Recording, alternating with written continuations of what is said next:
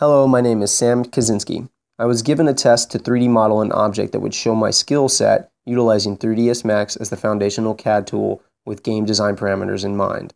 I also utilized ZBrush for its aid in UV creation, normal, ambient occlusion, displacement, and material maps that I was able to generate from a high resolution model. Splines, primitive shapes, modifiers, and other tools were used along with plugins in this process. I made sure to use my time wisely in learning many tutorials about 3ds Max over the last two weeks as it offers many avenues for creation of game assets, particularly those that involve compound objects offered to me by my choice of designing a set of Sony headphones.